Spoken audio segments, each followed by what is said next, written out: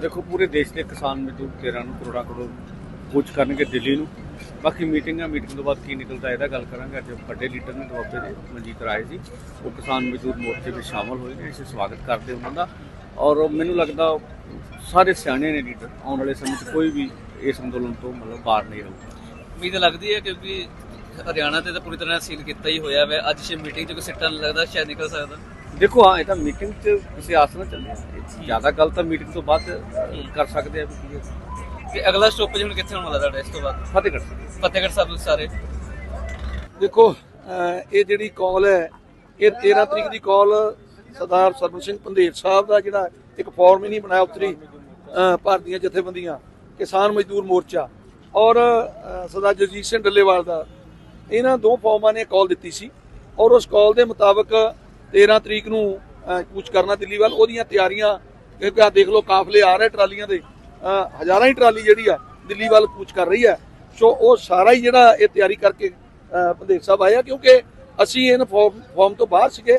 ਅਸੀਂ ਵੀ ਹੁਣ ਇਹਨਾਂ ਨੂੰ ਪੂਰਨ ਤੌਰ ਤੇ ਸਮਰਥਨ ਦਿੱਤਾ ਹੈ ਔਰ ਅਸੀਂ ਵੀ ਇਹ 'ਚ ਸ਼ਾਮਲ ਹੋਏ ਹਾਂ।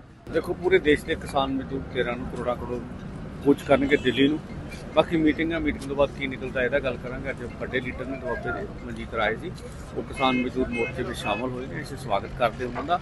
ਔਰ ਮੈਨੂੰ ਲੱਗਦਾ ਸਾਰੇ ਸਿਆਣੇ ਨੇ ਲੀਡਰ ਆਉਣ ਵਾਲੇ ਸਮੇਂ 'ਚ ਕੋਈ ਵੀ ਇਸ ਅੰਦੋਲਨ ਤੋਂ ਮਤਲਬ ਬਾਹਰ ਨਹੀਂ ਰਹੂਗਾ। ਉਮੀਦ ਲੱਗਦੀ ਹੈ ਕਿਉਂਕਿ ਹਰਿਆਣਾ ਤੇ ਤਾਂ ਪੂਰੀ ਤਰ੍ਹਾਂ ਸੀਲ ਕੀਤਾ ਹੀ ਹੋਇਆ ਵੈ। ਅੱਜ ਸ਼ੇ ਮੀਟਿੰਗ 'ਚ ਕੋਈ ਸਿੱਟਾ ਨਹੀਂ ਲੱਗਦਾ ਸ਼ਾਇਦ ਨਿਕਲ ਸਕਦਾ। ਦੇਖੋ ਹਾਂ ਇਹ ਤਾਂ ਮੀਟਿੰਗ 'ਚ ਕਿਸੇ ਆਸ ਨਾਲ ਚੱਲਿਆ ਜ਼ਿਆਦਾ ਗੱਲ ਤਾਂ ਮੀਟਿੰਗ ਤੋਂ ਬਾਅਦ ਕਰ ਸਕਦੇ ਆ ਵੀ ਕੀ ਹੈ। ਤੇ ਅਗਲਾ ਸਟਾਪੇਜ ਹੁਣ ਕਿੱਥੇ ਹੋਣ ਵਾਲਾ ਤੁਹਾਡਾ ਇਸ ਤੋਂ ਬਾਅਦ? ਫਤਿਹਗੜ੍ਹ ਸਾਹਿਬ। ਫਤਿਹਗੜ੍ਹ ਸਾਹਿਬ ਤੁਸੀਂ ਸਾਰੇ। ਦੇਖੋ ਅਹ ਇਹ ਜਿਹੜੀ ਕਾਲ ਹੈ ਇਹ 13 ਤਰੀਕ ਦੀ ਕਾਲ ਸਰਦਾਰ ਸਰਬਨ ਸਿੰਘ ਪੰਧੇਰ ਸਾਹਿਬ ਦਾ ਜਿਹੜਾ ਇੱਕ ਫਾਰਮ ਹੀ ਨਹੀਂ ਬਣਾਇਆ ਉਤਰੀ ਅਹ ਭਾਰਤੀਆਂ ਜਥੇਬੰਦੀਆਂ ਕਿਸਾਨ ਮਜ਼ਦੂਰ ਮੋਰਚਾ ਔਰ ਅਹ ਸਰਦਾਰ ਜਗਜੀਤ ਸਿੰਘ ਡੱਲੇਵਾਲ ਦਾ। ਇਹਨਾਂ ਦੋ ਫਾਰਮਾਂ ਨੇ ਕਾਲ ਦਿੱਤੀ ਸੀ ਔਰ ਉਸ ਕਾਲ ਦੇ ਮੁਤਾਬਕ 13 ਤਰੀਕ ਨੂੰ ਅਹ ਕੂਚ ਕਰਨਾ ਦਿੱਲੀ ਵੱਲ। ਉਹਦੀਆਂ ਤਿਆਰੀਆਂ ਕਿਉਂਕਿ ਆ ਦੇਖ ਲਓ ਕਾਫਲੇ ਆ ਰਹੇ ਟਰਾਲੀਆਂ ਦੇ। ਹਜ਼ਾਰਾਂ ਹੀ ਟਰਾਲੀ ਜਿਹੜੀ ਆ ਦਿੱਲੀ ਵੱਲ ਕੂਚ ਕਰ ਰਹੀ ਹੈ ਸੋ ਉਹ ਸਾਰਾ ਹੀ ਜਿਹੜਾ ਇਹ ਤਿਆਰੀ ਕਰਕੇ, ਅਹ ਪੰਧੇਰ ਸਾਹਿਬ ਆਇਆ ਕਿਉਂਕਿ ਅਸੀਂ ਇਹਨਾਂ ਫਾਰਮ ਤੋਂ ਬਾਹਰ ਸੀਗੇ। ਅਸੀਂ ਵੀ ਹੁਣ ਇਹਨਾਂ ਨੂੰ ਪੂਰਨ ਤੌਰ ਤੇ ਸਮਰਥਨ ਦਿੱਤਾ ਹੈ ਔਰ ਅਸੀਂ ਵੀ ਇਹ 'ਚ ਸ਼ਾਮਲ ਹੋਏ ਹਾਂ ਦੇਖੋ, ਪੂਰੇ ਦੇਸ਼ ਦੇ ਕਿਸਾਨ ਮਜ਼ਦੂਰ 13 ਨੂੰ ਕਰੋੜਾਂ ਕਰੋੜ ਕੁਝ ਕਰਨਗੇ ਦਿੱਲੀ ਨੂੰ। ਬਾਕੀ ਮੀਟਿੰਗ ਆ ਮੀਟਿੰਗ ਤੋਂ ਬਾਅਦ ਕੀ ਨਿਕਲਦਾ ਇਹਦਾ ਗੱਲ ਕਰਾਂਗੇ। ਅੱਜ ਵੱਡੇ ਲੀਡਰ ਨੇ ਦੁਆਬੇ ਦੇ ਮਨਜੀਤ ਰਾਏ ਜੀ। ਉਹ ਕਿਸਾਨ ਮਜ਼ਦੂਰ ਮੋਰਚੇ ਵਿੱਚ ਸ਼ਾਮਲ ਹੋਏ ਨੇ, ਅਸੀਂ ਸਵਾਗਤ ਕਰਦੇ ਉਹਨਾਂ ਦਾ। ਔਰ ਮੈਨੂੰ ਲੱਗਦਾ ਸਾਰੇ ਸਿਆਣੇ ਨੇ ਲੀਡਰ ਆਉਣ ਵਾਲੇ ਸਮੇਂ 'ਚ ਕੋਈ ਵੀ ਇਸ ਅੰਦੋਲਨ ਤੋਂ ਮਤਲਬ ਬਾਹਰ ਨਹੀਂ ਰਹੂਗਾ। ਉਮੀਦ ਲੱਗਦੀ ਹੈ ਕਿਉਂਕਿ ਹਰਿਆਣਾ ਤੇ ਤਾਂ ਪੂਰੀ ਤਰ੍ਹਾਂ ਸੀਲ ਕੀਤਾ ਹੀ ਹੋਇਆ ਵੈ। ਅੱਜ ਸ਼ੇ ਮੀਟਿੰਗ 'ਚ ਕੋਈ ਸਿੱਟਾ ਨਹੀਂ ਲੱਗਦਾ ਸ਼ਾਇਦ ਨਿਕਲ ਸਕਦਾ। ਦੇਖੋ ਹਾਂ ਇਹ ਤਾਂ ਮੀਟਿੰਗ 'ਚ ਕਿਸੇ ਆਸ ਨਾਲ ਚੱਲਿਆ। ਜ਼ਿਆਦਾ ਗੱਲ ਤਾਂ ਮੀਟਿੰਗ ਤੋਂ ਬਾਅਦ ਕਰ ਸਕਦੇ ਆ ਵੀ ਕੀ ਹੈ। ਤੇ ਅਗਲਾ ਸਟਾਪੇਜ ਹੁਣ ਕਿੱਥੇ ਹੋਣ ਵਾਲਾ ਤੁਹਾਡਾ ਇਸ ਤੋਂ ਬਾਅਦ? ਫਤਿਹਗੜ੍ਹ ਸਾਹਿਬ। ਫਤਿਹਗੜ੍ਹ ਸਾਹਿਬ ਸਾਰੇ।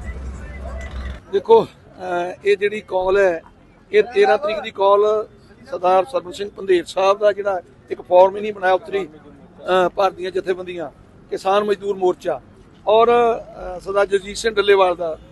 ਇਹਨਾਂ ਦੋ ਫਾਰਮਾਂ ਨੇ ਕਾਲ ਦਿੱਤੀ ਸੀ ਔਰ ਉਸ ਕਾਲ ਦੇ ਮੁਤਾਬਕ 13 ਤਰੀਕ ਨੂੰ ਕੂਚ ਕਰਨਾ ਦਿੱਲੀ ਵੱਲ ਉਹਦੀਆਂ ਤਿਆਰੀਆਂ, ਕਿਉਂਕਿ ਆ ਦੇਖ ਲਓ ਕਾਫਲੇ ਆ ਰਹੇ ਟਰਾਲੀਆਂ ਦੇ ਹਜ਼ਾਰਾਂ ਹੀ ਟਰਾਲੀ ਜਿਹੜੀ ਆ ਦਿੱਲੀ ਵੱਲ ਕੂਚ ਕਰ ਰਹੀ ਹੈ। ਸੋ ਉਹ ਸਾਰਾ ਹੀ ਜਿਹੜਾ ਇਹ ਤਿਆਰੀ ਕਰਕੇ, ਅਹ, ਪੰਧੇਰ ਸਾਹਿਬ ਆਇਆ ਕਿਉਂਕਿ ਅਸੀਂ ਇਹਨਾਂ ਫਾਰਮ ਫਾਰਮ ਤੋਂ ਬਾਹਰ ਸੀਗੇ। ਅਸੀਂ ਵੀ ਹੁਣ ਇਹਨਾਂ ਨੂੰ ਪੂਰਨ ਤੌਰ ਤੇ ਸਮਰਥਨ ਦਿੱਤਾ ਹੈ ਔਰ ਅਸੀਂ ਵੀ ਇਹ 'ਚ ਸ਼ਾਮਲ ਹੋਏ ਹਾਂ।